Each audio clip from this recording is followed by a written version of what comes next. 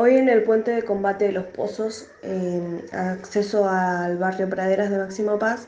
los vecinos eh, se convocaron para hacer una reunión y para hacer un petitorio al municipio para que puedan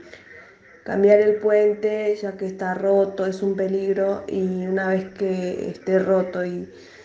una vez que pase la pandemia, eh, los chicos puedan ir tranquilos a la escuela, porque en estos momentos, por más que no vayan, se usa mucho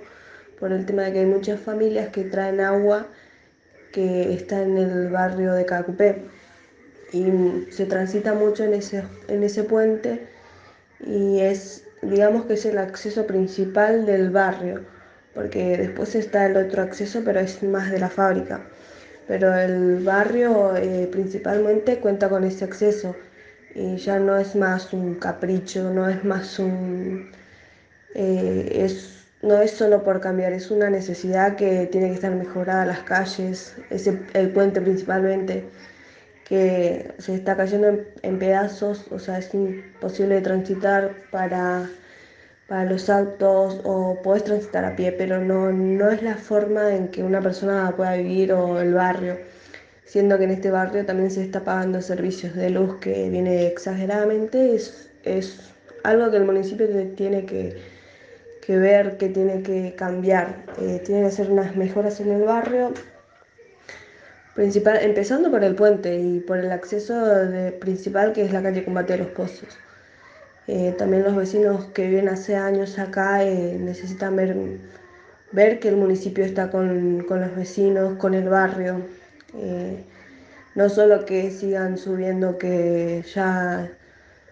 ya, ya, se van a hacer las mejoras, ya se van a hacer los cambios, porque los vecinos se enteran que,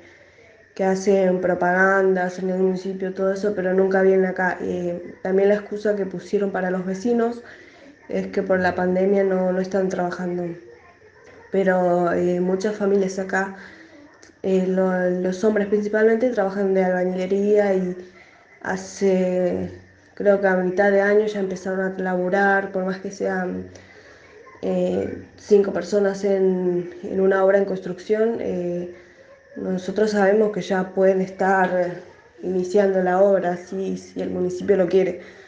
Así que más que nada fue para eso la reunión de hoy de los vecinos. Y el acuerdo fue entre los vecinos que vamos a insistir hasta lograr, porque ya se viene muchos años que el municipio nos dice que sí, que sí, pero nunca se proyecta, nunca vemos el avance de un futuro puente. Así que más que nada es por eso. Ahora se espera una respuesta el, el día miércoles del delegado, cuál sería su respuesta, porque él vino la gente le dijo sus sugerencias, sus quejas, sus necesidades. Y la necesidad principal es el cambio del puente, que está no se puede transitar más. Y así que estamos atentos para el día miércoles,